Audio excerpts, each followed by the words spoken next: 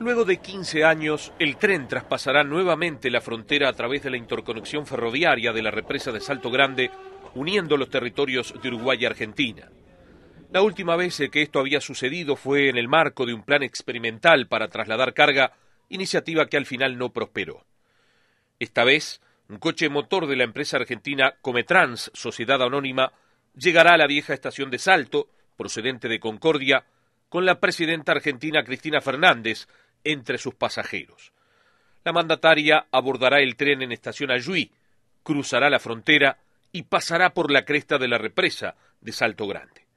En la capital salteña la esperará su colega José Mujica. Mujica y Cristina Fernández hablarán desde un estrado especialmente montado para la ocasión.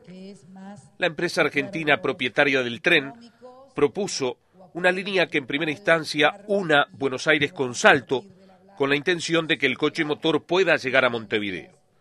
Esta iniciativa tendría el visto bueno de Cristina Fernández y es vista con interés por el gobierno uruguayo y por la Intendencia de Salto por los beneficios que puede aparejar para el turismo termal.